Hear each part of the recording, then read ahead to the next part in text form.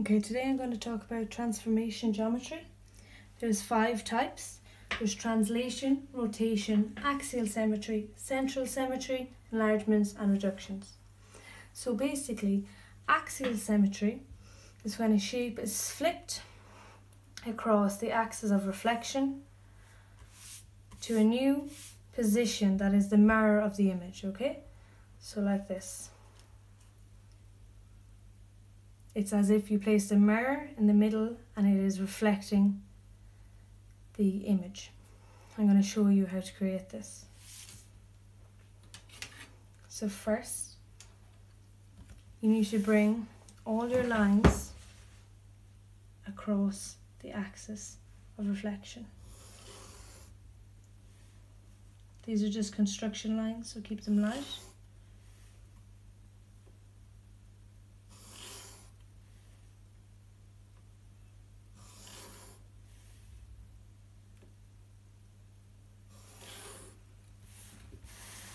Next, we're going to get our compass and take the distances from the axis of reflection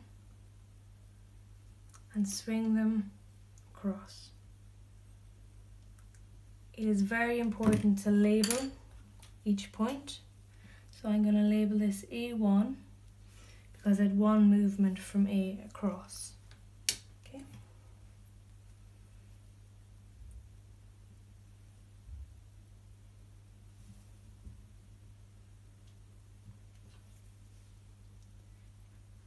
D1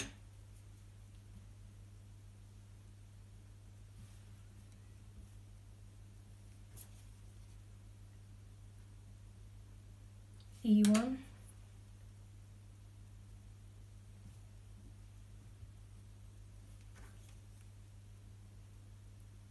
H1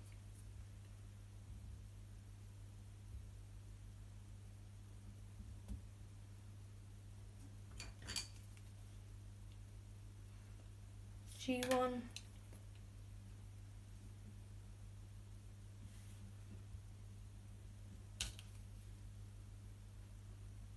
I1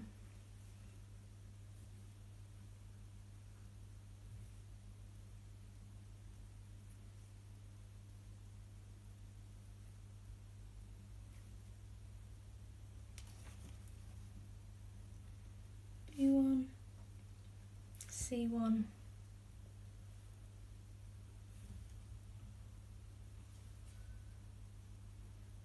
F1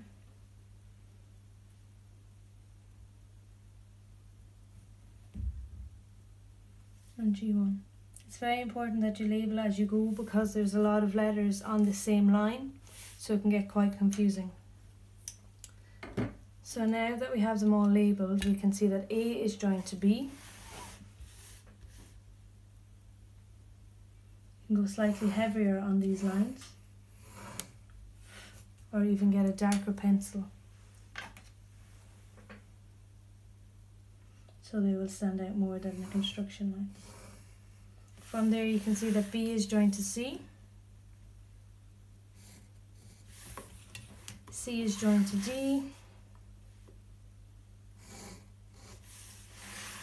D to E, and you just repeat the same pattern as us on the other side, each letter.